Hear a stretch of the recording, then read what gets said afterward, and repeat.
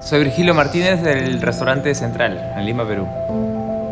Yo venía de, trabajar en muchas cocinas afuera y, para mí Central fue mi regreso a, Lima, eh, mi regreso a hacer lo que yo tal vez había aprendido.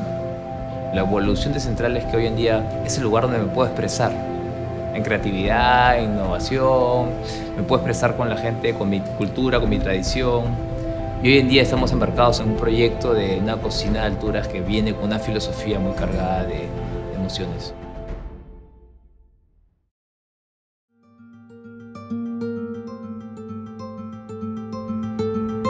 muchos platos peruanos han pasado a ser ya platos globales, ¿no? Vamos a hablar de un plato eh, que es quizás el más representativo que puede ser el ceviche, ¿no? Eh, es un plato que ya es un plato totalmente globalizado y que puede ser un plato mundial. Tú ves ahora en, cualquier restaurante en, en, París o en Europa, no sé, que siempre hay un ceviche, entonces yo creo que hemos logrado de que la cocina peruana se expanda por todo el, por todo el mundo. Definitivamente van a haber lugares en donde falta información, pero creo que en eso estamos trabajando.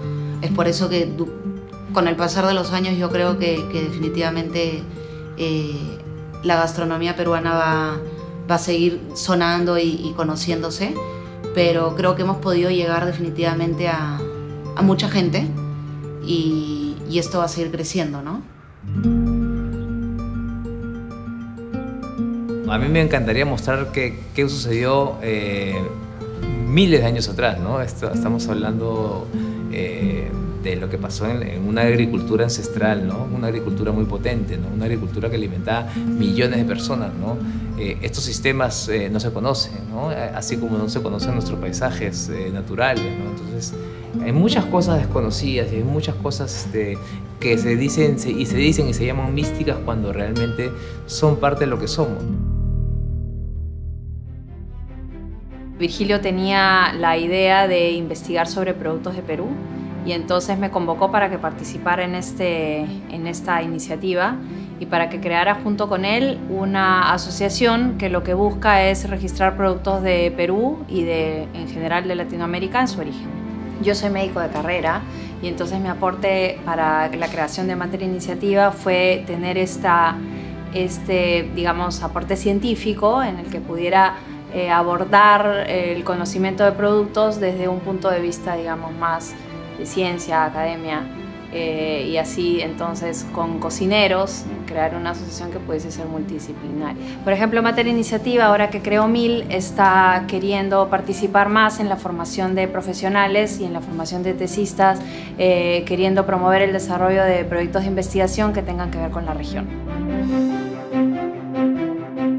En general yo diría que los los mejores y mayores descubrimientos han sido conocer entornos sociales y eh, tener una cercanía con comunidades diferentes que se sentían ajenas a nosotros, porque nosotros estamos en Lima, vivimos en, en una ciudad y entonces cuando hemos, nos hemos aproximado a estas regiones y a estos mundos diferentes, nos hemos encontrado con realidades distintas. Entonces yo creo que esos han sido los, los mejores hallazgos de materia iniciativa, encontrarnos con nuevos entornos sociales nuevos mundos y conocer un poco más de fondo.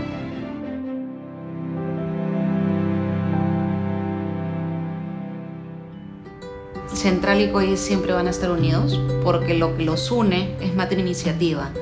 Entonces, Central y COI obtendrán información y productos de Mater y cada uno tendrá la libertad y, y la manera de trabajarlos, ¿no? Eh, Central de una manera más estructurada mientras Coye de repente con un poco más de libertad, ¿no?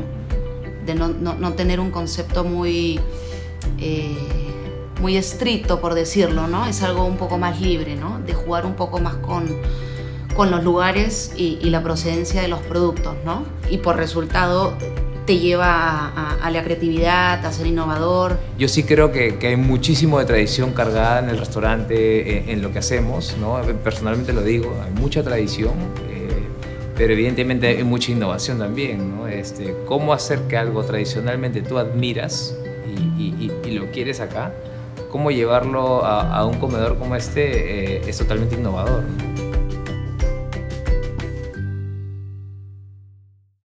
Lo bonito es que esto de aquí sirve de ejemplo definitivamente para, para los cocineros que están por el momento estudiando o, que nos siguen.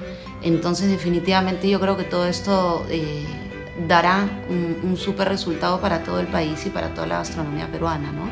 Creo que con el tiempo la gente se siente mucho más, más orgullosa de dónde, de dónde viene y qué es lo que tenemos y qué es lo que debemos nosotros mostrar al, al mundo entero, ¿no? Entonces definitivamente eh, veo, veo, veo una, una continua mejora para nosotros. Nos concentramos mucho en la, en la exploración, ¿no?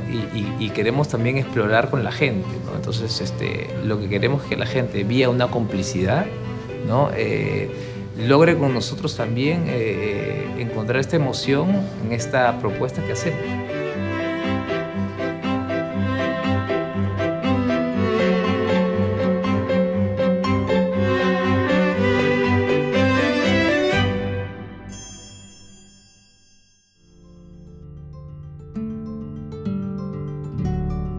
Estamos comprometidos porque queremos. Esto no, no es nunca una obligación.